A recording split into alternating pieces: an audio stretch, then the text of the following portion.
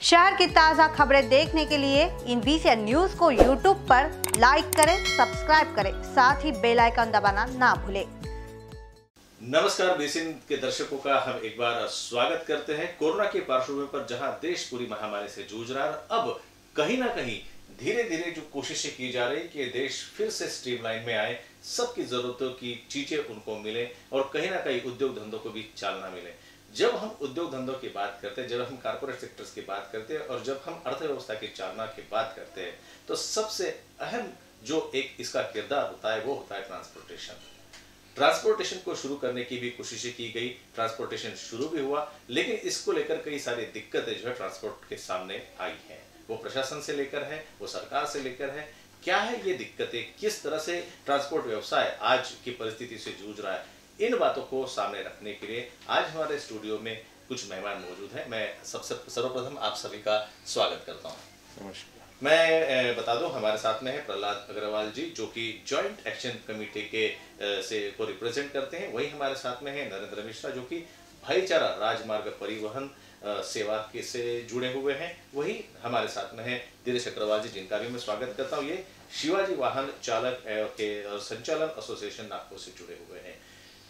क्या इनकी समस्याएँ हैं और कैसे इसको प्रशासन तक और सरकार तक पहुँचाया जाए? ये प्रयास के लिए मैं सीधे सबसे पहले तो प्रहलाद अग्रवाल जी मैं आपसे जानना चाहूँगा कि क्या वो समस्या है जिससे ट्रांसपोर्ट व्यवसाय आज जूझ रहा है?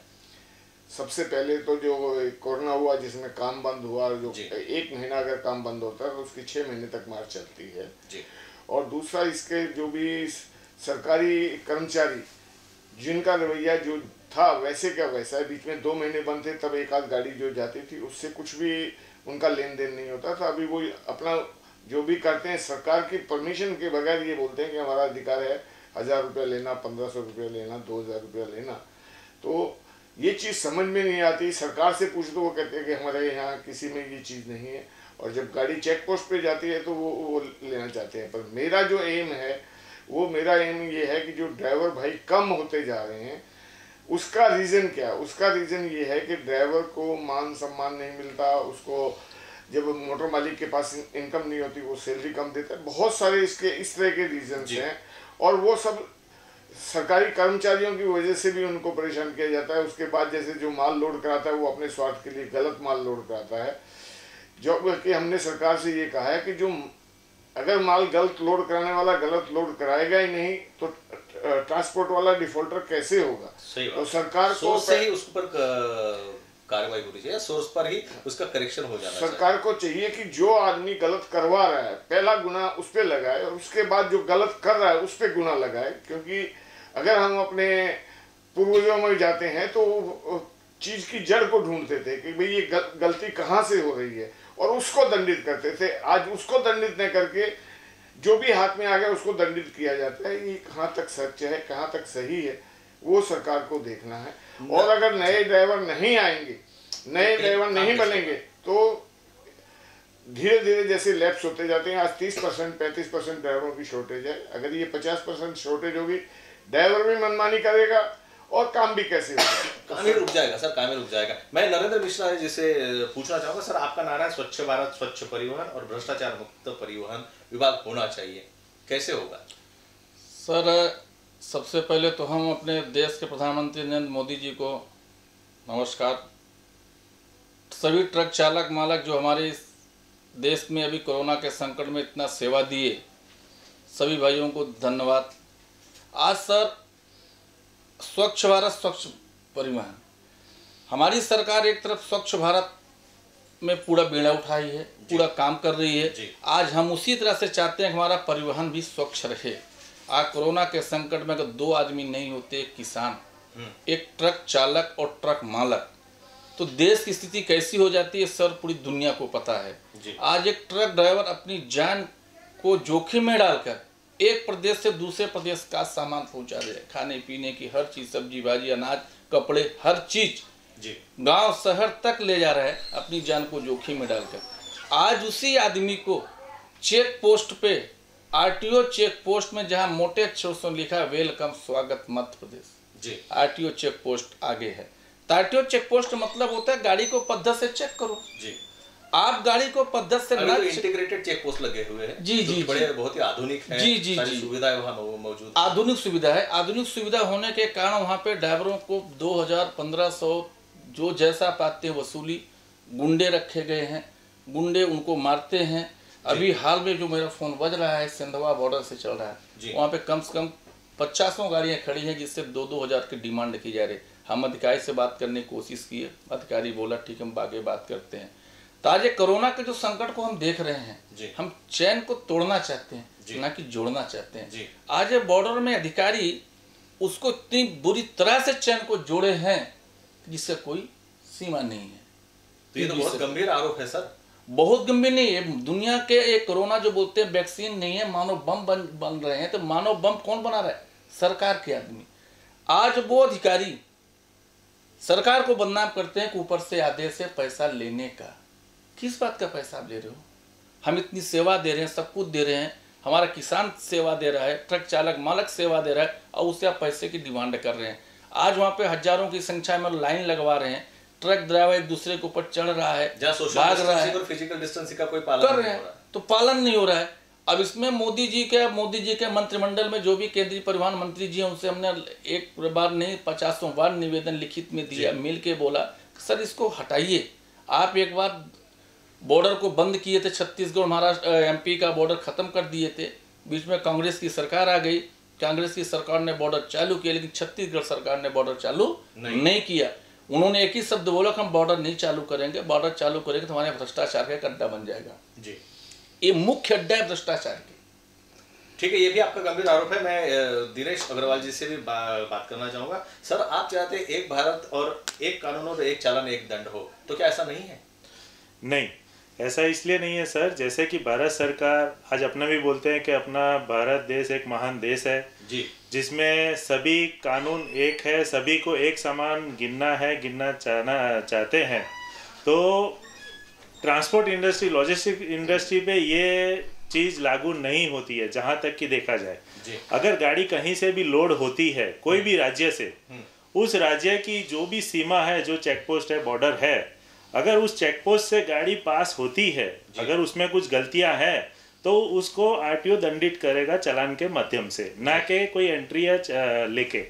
वो अगर ओके हो गया है और दूसरे राज्य में जाता है तो दूसरे राज्य वाले फिर उसमें कुछ ना कुछ बोलते हैं कि भाई ये उस राज्य का चलान था अब ये यहाँ पे और भरना पड़ेगा। तो ये चीज़ नहीं होनी चाहिए। जब भारत एक है अपना देश एक है तो कानून भी एक ही होना चाहिए। खून की सजा अगर मौत है तो वो पूरे देश में एक ही सजा है। हर देश हर राज्य में अलग अलग नहीं होती है। खून की सजा एक बार फांसी देके हो जानी। चाहिए बार बार फांसी नहीं होनी नहीं होती है और हर राज्य में खून की सजा फांसी ही है। उसी तरह लॉजिस्टिक के धंधे में भी अगर कुछ भी है कोई भी माल लोड होता है या कोई भी कमी है तो एक अगर राज्य करता है तो उसको पूरे भारत में उस चलान को वैध गिना जाना चाहिए ना कि अवैध। तो हमारी सरकार से यही गुजारिश है कि कोई भी हो तो अगर एक चलान करता है कोई भी गाड़ी का, एक तो सबसे पहले कि चलान किया जाता है गाड़ी का तो गाड़ी मालिक को या वाहन चालक को उसको कुछ ना कुछ समय देना चाहिए ताकि वो उस चलान को अगर सही है तो सही करे, अगर गलत है तो गलत साबित करने का मौका मिलना चाहिए। कि भाई हाँ ये जो आरटीओ ने या किसी ने भी चालान बनाया है ये गलत तरीके से बनाया गया है। बिल्कुल जैसा आप तो, बता रहे थे कि अगर फांसी की सजा है तो फांसी की सजा ऐसे ही नहीं हो जाती। नहीं हो जाती। उसको अपना पक्ष रखने का पूरा मौका मिलता मौका है। मिलता है। और कई बार मौके मिलते हैं। जी। और वो मौका मिले मिलने के बाद ही उसको फांसी की सजा जो है मुकर्र होती है। मुकर्र होती है। लेकिन आपका ऐसा कहना है कि ऐसा होता नहीं। होता नहीं है। इंस्टेंट वो बोलता है कि तुरंत के तुरंत चालान भरो। पंद्रह हज़ार बीस हज़ार ड्राइवर जेब में लेके नहीं घूमता है। जी। तो हमारी यही विनंती है सरकार से कि इसमें कुछ सुधार करना चाहिए और इस इंडस्ट्री की तरफ़ थोड़ा ध्यान देना चाहिए आज इस महामारी के समय में। इतने हर जगह से कई लोग अपने अपने तरीके से मदद कर रहे हैं सभी इंसान की। तो सरकार भी कोशिश तो कर रही है। सरकार ऊपर से तो पूरी कोशिश कर रही है, लेकिन नीचे आते आते वो कोशिश आम जनता तक नहीं पहुँच पाती है। तो यही विनंती है कि इसमें कुछ ना कुछ सुधार किया जाए। प्रहलाद जी, आप बता रहे थे कि अगर ऐसी परिस्थिति रही तो क्योंकि इन सारे प्रोसेस में जो है सबसे अहम किरदार जो होता है, आपकी तरफ़ से वो होता है ड्राइवर ठीक है? तो उसकी कहीं ना कहीं तो मानसिक प्रताड़ना होती हो रही होगी। उसको सारे इस प्रोसेस से गुजरना पड़ता है एक्चुअल में, और ऊपर से आपकी भी नींद खराब होती होगी, आप भी शांति, सुकून से काम नहीं कर पाते कर पा रहे होगे। तो ऐसे दौर में आप कैसे अपने वो ड्राइवर को और बाकी सब लोगों को कैसे बाँध के रखेंगे? जैसे मैंने मैंने एक अभी नया नियम लिया है कि भी मैं अगर हर महीने या हर साल में कम से कम सौ से हज़ार ड्राइवर तक अगर बनना चाहते हैं ड्राइवर भाई और उनके लिए मैंने ये भी नक्की किया है कि अगर कोई ड्राइवर आता है तो उसको ट्रेनिंग दिलवानी है तो मैं मेरे खर्चे पे दिलवाऊँगा। जो भी पैसा उसके लिए उसके स्कूल के लिए या उसकी ट्रेनिंग के लिए खर्च करना पड़ेगा वो पैसा मेरे को वो एज ए विदाउट इंटरेस्ट जब वो ड्राइवर बन जाए, जब उसका काम चालू हो जाए तो वो नॉमिनल जैसे मान लो अगर वो दस हज़ार रुपया पाता है या बीस हज़ार पाता है तो पाँच परसेंट, दस परसेंट करके मेरा पैसा चुका दे और वो ड्राइवर बन के अपने परिवार को, अपने बड़ों को, छोटों को जो भी है सुखी करे। ये भी मैंने एक चला रखा है क्योंकि मेरा ये ऐसा मानना है कि अगर ड्राइवर सुखी होगा तो हमारी ये लॉजिस्टिक इंडस्ट्री चालू रहेगी और इस, इसको पनपेगी। और अगर लॉजिस्टिक इंडस्ट्री नहीं रहेगी तो आप भी सोचिए कि अगर माल एक जगह से दूसरी जगह नहीं जाएगा और अगर कम ड्राइवर होंगे तो वो पैसा ज़्यादा मांगेंगे तो वो बोझा सब किस पे गिरेगा? पब्लिक पे गिरेगा। और जो इसमें सरकार सहयोग नहीं दे रही, मेरी सरकार से अपील है कि उसको इस बारे में कोई भी एक जैसे इंक्वायरी बिठाते हैं, इसके बारे में भी पाँच चार लोगों को, अच्छे लोगों को जो इस इंडस्ट्री को बचा सकते हैं, उनको नॉमिनेट करना चाहिए और उनसे जो सही आदमी है उनके पास जाके पूछना चाहिए। यूनियनों जो अपनी स्वार्थी यूनियनें भी बनी हुई हैं उनसे जो ब- ब- बचना चाहिए। उनसे बच के और जो जिसको एक्चुअल तकलीफ़ है। अब मान लो मैं मैं करीब सौ गाड़ी का मालिक हूँ। मेरे को कोई तकलीफ़ नहीं है मैं मैं सारा मैनेज कर लेता हूँ। और जो एक गाड़ी का मालिक है दो गाड़ी का मालिक है उनके लिए कितनी बड़ी प्रॉब्लम है? छोटे व्यवसायी हैं। छोटे छोटे हैं उनके लिए सरकार को सोचना चाहिए जैसे अभी अ, अ, सरकार से मांग हुई थी कि भाई इनका इंटरेस्ट माफ़ कर दिया जाए इनको टोल टैक्स के लिए फ्री किया जाए इनका टैक्स माफ़ कर दिया जाए तो सरकार को हर आदमी को जैसे उस छोटों के लिए वो कर रही है तो इस इंडस्ट्री में भी बहुत छोटे आदमी हैं छोटे व्यापारी हैं उनके लिए भी सरकार को सोचना नरेंद्र जी आप चाहते हैं कि जो प्रशासन हो या जो भी आपका व्यवसाय हो उसको प्रशासन की तरफ़ से जो है एक व्यवस्था जो है भ्रष्टाचार मुक्त व्यवस्था होनी चाहिए। आप अपने आपने अपने इस बात को रखने के अब तक क्या क्या प्रयास किए? सर इसके लिए हमने आज चार साल से प्रयास मेरे जारी हैं। जी। हमने इसके लिए सबसे पहले हमने नागपुर के गडकरी साहब से मुलाकात किया। उस समय मध्य प्रदेश में भारतीय जनता पार्टी की सरकार थी। जी। और केंद्र में नितिन गडकरी साहब केंद्रीय मंत्री थे। हमने साहब के पास आया निवेदन पे भी निवेदन दिया और उन्होंने भाजपा ट्रांसपोर्ट अगाड़ी के हमको ना वर्धामना नागपुर ज़िले का अध्यक्ष भी बनाया वर्धामना प्रांत का। हमने उनसे निवेदन किया सर मध्य प्रदेश में सरकार आपकी है छत्तीसगढ़ में सरकार आपकी है तो बैरियल क्यों लगे हैं? जी। पहले कोई मतलब नहीं होता। लुटाई हो रही है। तो उन्होंने एक्शन लेते हुए बैरियल को ख़त्म किए। ख़त्म करने के बाद फिर हमने एमपी में हर चेक पोस्टों को हमने दौड़ा किया। जी। जितने चेक पोस्ट एमपी में फोर्टी थ्री हैं। हमने दौड़ा किया तो हमने बोला कि सर ये पैसे क्यों लिए थे? वो तो ऊपर से आदेश है। हमने ऊपर में सीधे ट्रांसपोर्ट कमिश्नर के पास पहुँच गया। उन्होंने बोला ऊपर से हमारे कोई आदेश नहीं। सर फिर सरकार को बदनाम क्यों कर रहे हैं? ये आदमी सरकार को बदनाम ये प्रशासनिक अधिकारी करके सरकार के नाम पे पैसे ले रहे हैं। अब गाड़ी वाला आज किस तरह से जी रहा है कि पूरे देश का जीवन यापन आज उसके हाथ में है? ट्रांसपोर्ट इंडस्ट्री बोलते हैं रीढ़ की हड्डी। जी। आज जो ट्रक न रहे। और रीढ़ की हड्डी इसीलिए सर कि पूरा इस कोरोना के महामारी में आप देखिए कि जहाँ सारे सारी व्यवस्थाएँ ठप पड़ी हुई थी वहाँ पर भी जो है ट्रांसपोर्टेशन को जहाँ पे जो कि ट्रांसपोर्टेशन जीवनावश्यक वस्तु का ट्रांसपोर्ट किया है उसका जो जी। वाहतुक की है वो अपने आप में एक सराहनीय कदम भी था और उसमें इसकी वजह से आपके और हमारे घरों तक जो सब्ज़ी भाजी और बाकी की चीज़ें वो जी। तो आज वही सब देखते हुए हमने कमिश्नर साहब से चर्चा किया वहाँ के परिवहन मंत्री साहब से चर्चा किया चर्चा करने के बाद एक ही रास्ता था कि तो ऊपर से आदेश है ऊपर तक जाता है। यानी इसका संचालन कौन कर रहा है? ये आज तक पता नहीं समझ में नहीं आ रहा। जबकि बताइए मंत्रालय किस लिए बनाए जाते हैं? हम प्रधानमंत्री या सरपंच या किस लिए बनाते हैं? सेवा करने के सेवा लिए। करने के लिए। हम जहाँ पे भ्रष्टाचार हो रहा है वहाँ पे हम प्रशासन के माध्यम से मंत्री या सरकार के माध्यम से उसको रोकेंगे। आज पूरे हिंदुस्तान के पूरे भारत के केंद्रीय मंत्री परिवहन मंत्री नितिन गडकरी जी हैं। हमारे मोदी साहब प्रधानमंत्री जी उनके सरकार में शामिल हैं। आज अगर वो चाह लें तो हम तो सरकार से कोई मांग नहीं की है। हमने लेटर भी दिख के दिया छः महीना के लिए इंस्टॉलमेंट रोक दी जाए। टैक्स माफ़ कर दिए जाए। आज गाड़ी वाला नहीं दे सकता। सरकार ये भी नहीं करे। सरकार केवल पूरे आरटीओ चेक पोस्ट को हटा दे। गाड़ी वाले सुखी हो जाएँगे। कभी उनको परेशानी नहीं होगी। जो गाड़ी गलत तरीके से चल रही है, उसमें ज़्यादा से ज़्यादा कड़ी से कड़ी कार्रवाई करे। ये मेरी सोचना है। ना कि रिश्वत गाड़ी वाले से लिया जाए और गरीबों को मत सताया जाए। ये हमारी सरकार से मांगे सरकार वहाँ पे हस्तक्षेप करे और नहीं तो आरटीओ चेक पोस्ट के जगह में लूट पोस्ट लिख दिया जाए। जब लूट पोस्ट लिख दिए जाएँगे तो ऑटोमेटिक सब जाएगा ये लूट पोस्ट है। सर आप जो कह रहे हैं यहाँ पर तो गवर्नमेंट की तरफ़ जैसे वो इंटीग्रेटेड की हम बात करें तो जो जो भी चालन होते हैं वो तो ऑनलाइन ऑनलाइन चालन की भी तो प्रोविज़न किया हुआ है उसमें। लेकिन क्या उसका पालन नहीं हो रहा है? नहीं उसका पालन नहीं हो रहा सर। वहाँ पालन कैसे हो रहा है कि वहाँ पे अगर आपने रिश्वत दिए तो ठीक है नहीं दिए तो बीस हज़ार पच्चीस हज़ार का चलान बनाने की धमकी दी जाती है। जी। गाड़ी दो दो दिन तीन तीन दिन पाँच पाँच घंटे छः छः घंटे अभी जाके बॉर्डर में देखिए लाइन लगी है। पब्लिक को निकलना मुश्किल है। और वही पैसा दे के चले जाओ तो कोई टेंशन नहीं। तो वहाँ पे सरकार के नाम से पैसे अधिकारी वसूल रहे हैं। अब सर ये अब हम तो मीडिया वालों से निवेदन करता हूँ आपके चैनल से निवेदन करता हूँ। कि आपके जो संपादक जी हैं या आप जैसे वरिष्ठ लोग हैं आप जाके सरकार से पूछिए केंद्रीय मंत्री साहब नागपुर में आते हैं शनिवार को संडे को आते हैं उनसे चर्चा करिए कि सर ये आरटीओ चेक पोस्ट में इतनी लूट क्यों मची है? वो भी कोरोना के महामारी संकट में।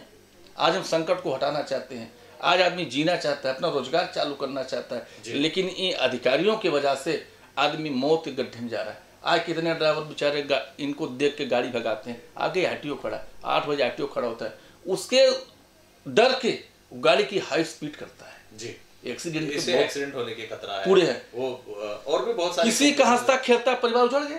जी। एक अधिकारी के चलते डर के चलते तो हम सरकार से मांग करते हैं कि परिवहन विभाग को भय मुक्त बना दिया जाए। किसी को किसी से डर ना लगे। आपके पास ऑनलाइन सुविधा है। सब सुविधा है। गाड़ी हाइट है ओवरलोड है। पेपर नहीं। आप चालान करिए ना। जो राजस्व के खाते में जाएगा सरकार के खाते में जाएगा और ये जनता को उसका फ़ायदा मिलेगा। लेकिन बे ये अधिकारी मंत्री जी के नाम पे। सरकार के नाम पे अरबों खरबों मैं आपको बता रहा हूँ कि आपको हिंदुस्तान में से कोई कैलकुलेटर नहीं होगा जो आंकड़े को बता दे कितना पैसे डेली का आ रहा है दो नंबर का। किसके पास जा रहा है? ये बहुत ही गंभीर बात है अगर ऐसा हो रहा है। मैं चलते चलते प्रहलाद जी आपसे पूछना चाहूँगा आप क्या सोचते हैं इस विषय पर और क्या आपकी डिमांड है और कैसे इस पर निपटना चाहिए? मैं जो मैं धंधा करता हूँ मैं मतलब मैं जो काम करता हूँ मैं किसान भाइयों के लिए ट्रैक्टर का काम करता हूँ। और 78 में मैंने पहला ट्रैक्टर ट्रक पे चढ़ाया था। और जब गवर्नमेंट की हरसमेंट होने लगी तो 83 में मैंने पहले गुजरात गवर्नमेंट से परमिशन ली थी। और गुजरात गवर्नमेंट ने मेरे को परमिशन दी थी। क्योंकि मैं पढ़ा लिखा ना होने की वजह से उस परमिशन को मैं समझ नहीं पाया। जबकि कोई भी एक स्टेट परमिशन देता है वो थ्रू आउट इंडिया वैलिड होती है।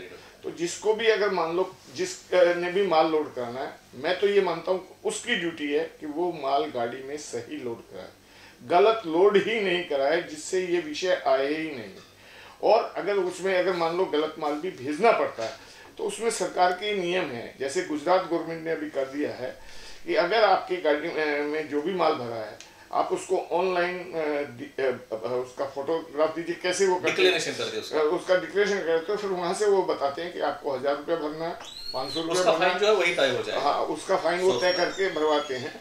और मैंने आपको इसका एक जी। सैंपल भी दिया है जो। कि आप उनको दे सकते हैं।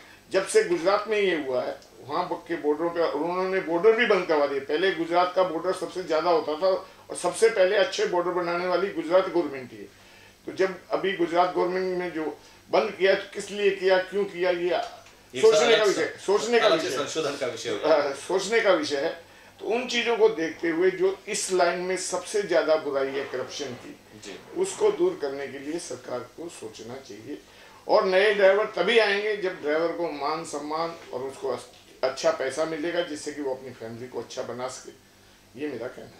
दिनेश जी मैं आपके पास में आऊँगा चलते चलते आपको भी बताना है अपनी बात आपको रखनी ताकि प्रशासन तक जाए सरकार तक आपकी बात पहुँचे। जी मेरा तो सरकार से हाथ जोड़ के यही निवेदन है कि अगर सोचना है तो अच्छे से देखिए कि जिस हिसाब से ये जो ट्रांसपोर्ट इंडस्ट्री के साथ अ, नाइंसाफ़ी हो रही है वो ना हो क्योंकि सरकार ने हर चीज़ में हर इंसान से यानी हर आ, क्या बोलते हैं अपने हर तरीके से हर लोगों की मदद की है। ट्रांसपोर्ट इंडस्ट्री को हमेशा अलग ही तरीके से माना है कि जैसे तो वो भारत का एक हिस्सा है ही नहीं। उसको कभी भी कोई सहूलियत नहीं दी है। तो हमारी तो सरकार से यही गुजारिश है कि जो मैंने आपसे पहले भी बताया कि अगर एक जगह से कोई भी सामान को ट्रांसपोर्ट होता है तो उसका जो भी चलान होता है वो करे और उसे पूरे भारत में कहीं रोका ना जाए। ये क्या तरीका है कि अगर आ, कोई अधिकारी ने रिश्वत के तौर पे पैसा मांगा गाड़ी वाले से और बोलेगा कि भाई ये तुम्हारी गाड़ी में ये भरा ये नुकसान होगा आम जनता को ये परेशानी होगी। अगर ड्राइवर ने उसको पाँच सौ हज़ार दे दिया तो वो ओके हो गई गाड़ी। तो वो रास्ते में कोई परेशानी ना तो कोई जनता को होगी ना किसी को परेशानी होगी गाड़ी ओके हो गई। तो ये चीज़ नहीं होना चाहिए।